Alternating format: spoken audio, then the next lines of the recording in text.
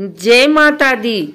आइए सुनते हैं चौथ माता की यह कहानी। चौथ माता की कहानी। चौथ व्रत के समय कही वह सुनी जाती है। इसके बाद गणेश जी की कहानी सुनी जाती है। एक नगर में एक बूढ़ी माँ रहती थी। वह अपने बेटे की सलामती के लिए बारह महीनों की चौथ का व्रत करती थी। हर चौथ को पसारी से थोड़ा सा गुड़ और घी लाकर चार लड्डू बनाती। एक बेटे को देती, एक से पूजा करती, एक हथकार के लिए निकालती और एक चाँद उगने पर खुद खा लेती थी। एक बार उनका बेटा ताई से मिलने गया। ताई ने बैसाखी चौथ का व्रत रखा था। ताई से पूछा, माँ तो बारह चौथ करती है। ताई बोली, तेरी माँ, तेरी कमाई से तरमाल खाने के लिए बारह चौथ करती है। तू परदेश जाए तो वह एक भी चौथ नहीं करेगी। लड़के को लगा, ताई सच कह रही है। घर आकर माँ से कहा, मैं परदेश जा रहा हूँ। यहाँ तू मेरी कमाई खाने पीने में ही उड़ा देती है। माँ ने समझा कर रोकना चाहा, पर बेटा नहीं माना। माँ ने उसे साथ ले जाने के लिए चौथ माता की आँखें दिए और कहा, मुसीबत में आए तो आँखें तेरी मदद करेंगी। वह आँखें लेकर चला गया। घूमते हुए एक नगर में पहुँचा। उसने देखा, एक बूढ़ी माँ रोती जा रही थी और पुए बनाते जा रही थी। उसने कारण पूछा तो बूढ़ी माँ ने कहा, बेटा, इस नगर की पहाड़ी पर एक दैत्य रहता है। पहले वह नगर में आकर कई लोगों को खाने के लिए मार देता था। अब राजा हर घर से एक आदमी दैत्य के पास भेजता है और आज मेरे बेटे की बारी है। इसलिए रो रही हूँ और उसी के लिए पुए बना रही हूँ। वह बोला, तू पुए मुझे खिला दे। तेरे बेटे की जगह मैं चला जाता हूँ। बूढ़ी माँ ने खीर पुए, उसे खिला दिए। खा पी कर वह सो गया। रात को राजा के सैनिक आए तो बूढ़ी माँ ने उसे भेज दिया। दैत्य सामने पहुँचे, पर उसने चौथ माता के आँखें दैत्य की तरफ़ फेंक कर कहा, हे चौथ माता, यदि मेरी माँ मेरी सलामती के लिए व्रत करती है तो दैत्य का सिर कटकर गिर जाए। तुरंत दैत्य का सिर कट गया। लड़का वापस आ गया।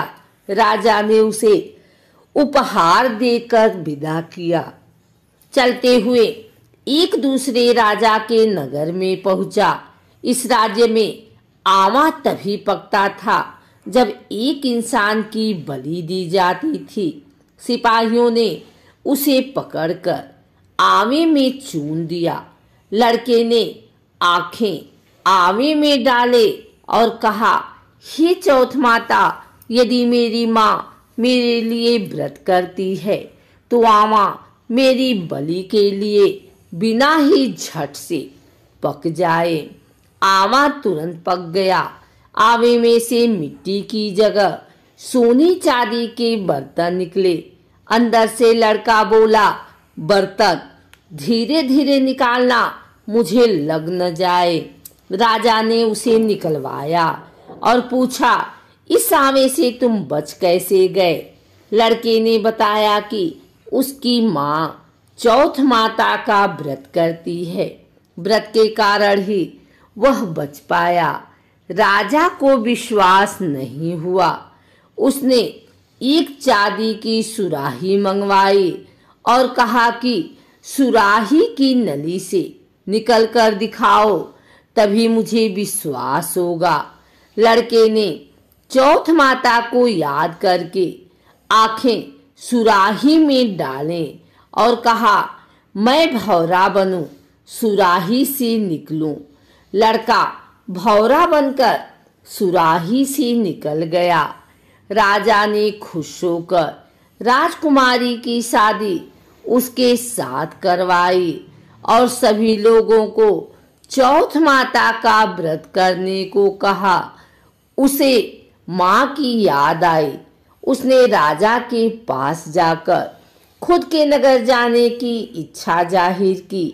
राजा ने रथ, घोड़ा, हाथी और खूब सारा दान दहेज देकर उन्हें विदा किया। चौथ के दिन अपने नगर पहुँचा। वह अकेला पसारी की यहाँ माँ का इंतज़ार करने लगा। सोचा, चौथ है तो माँ यहाँ ज़रूर आएगी। थोड़ी देर बाद लकड़ी टेकती हुई माँ आती दिखी। उसकी माँ की आँखों में जाले आने के कारण दिखना कम हो गया था।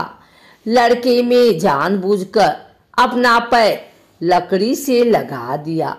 कहने लगा बल रे पूत काटी मेरे पैर के लगा दी। माँ ने उसे नहीं पहचाना। कहने लगी, भैया, मुझे चाहे कितनी गाली निकालो, पर मेरे बेटे को कुछ मत कहना। बेटा, माँ के चरणों में गिर पड़ा। कहा, माँ, मैं तेरा ही बेटा हूँ। मुझे माफ़ कर दो। माँ ने उसे गले लगा लिया। नगर के लोगों ने विश्वास नहीं किया कि वह उसी का बेटा है। बूढ़ी माँ ने चौथ माता को याद करके कहा, हे चौथ माता, यदि मैं अपने बेटे के लिए व्रत करती हूँ तो मेरे स्तन में दूध भर जाए और उसकी धार मेरे बेटे के मुँह में गिरे। माँ के स्तन से दूध की धार निकलकर बेटे के मुँह में गिरने लगी।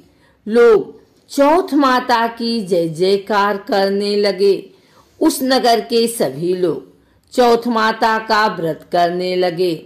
हे चौथ माता, जैसी बूढ़ी माँ को उसके बेटे की सहायता की, वैसे हमारी भी करना, कहानी कहने वालों की।